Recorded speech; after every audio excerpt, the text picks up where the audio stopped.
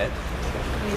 Na, tehát az a lényeg, hogy amikor meghozta az országgyűlés ezt a bizonyos Questor törvényt, akkor többször fölhívtam a kormány figyelmét arra, hogy nem lehet úgy jogszabályt alkotni, hogy egy meghatározott cég egy típusára vonatkozik csak a kártérítés, hanem generális szabályozás lesz majd szükséges. De többször elmondtam, különböző sajtótájékoztatókból, hogy ezt így nem lehet véghez vinni. A kormány azonban, mintha direkt építette volna be ezt a jogszabályalkotási hibát, hogy erre való hivatkozással el lehessen ezt utasítani. Ezzel párhuzamosan, hogy elmondtam, éltem még egy kezdeményezéssel, ez a sajtóban elég kis nyilvánosságot kapott, elküldtem levelet a legfőbb ügyész úrnak, és azt kértem, hogy állapítsa meg a Magyar Nemzeti Banknak, mint a pénzügyi felügyeletet ellátó hatóságnak a mulasztását ebben a Questor témában, mert mondok önöknek egy érdekes adatot, 1300 alkalmazottja van a Magyar Nemzeti Banknak,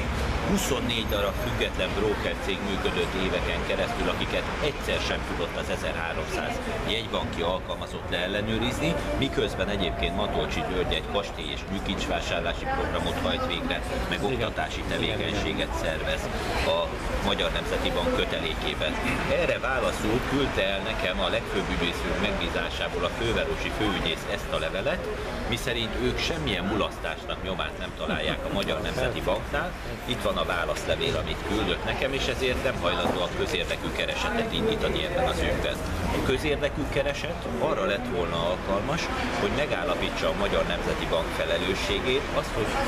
ha 50 darab jegybanki alkalmazott jut egy darab független broker cégre, akkor nem elfogadható az a magyarázat, hogy nem értek rá ellenőrizni éveken keresztül egyszer sem ezeket a cégeket. Ennek a hiányosságnak, amit a Questornál is találtak, annyira egyszerű a megállapítás, hogy egy darab ellenőrt kiküldenek, és egy nap alatt meg tudja állapítani, hogy nincsenek meg a fedezetül szolgáló részvények, kötvények, és ezért fiktív a kötvénykibocsátás, ami történt a Questornál. Tehát ez egy nagyon fontos dolog, hogy én ezzel a közérdekű keresettel én gondolom, hogy meg lehetett volna oldani ezt a témát. Sajnos a főügyész úr sem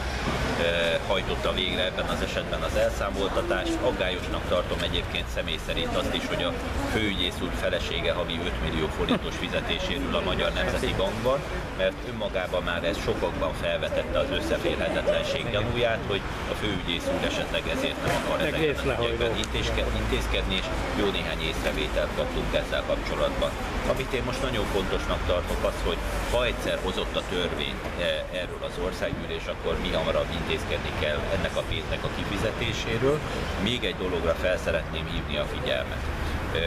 Alapvetően az Európai Unió a 2008-as világgazdasági válság után Bázel 1 és Bázel 2 irányelveket fogalmazott meg, amelyekben azt rögzítették, hogy ennek a kártérítésnek a pénzügyi szektor terhére kell megtörténnie, tehát a bankok és a broker cégek terhére kell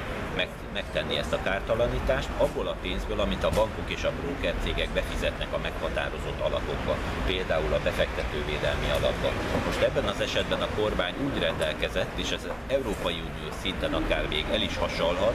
hogy ez a pénz, amit a Questor ügyfelek kárpótlására fizetnek, ez levonásra kerül a tranzakciós illetékből, meg a bankadó összegéből, és én tartok tőle, hogy mivel a végső teherviselője nem az Európai Uniós elveknek megfelelően a bank és broker szektor lesz, hanem az költségvetés, hiszen az adóbevételeket csökkentik majd le ezzel a lépéssel. Én tartok tőle, hogy akár Európai Unió szinten is elvérezhet ez a jogszabály. Azért szólok, mert ha esetleg így lesz, és nem fogja tudni ezt a kormány keresztül vinni, akkor ez jobb, a hogyha, ez jobb a hogyha most is tisztában vagyunk azzal, hogy még egy ilyen kockázat a szerint van ennek a dolognak. Egy, egy tény, hogy a kárpótlásnak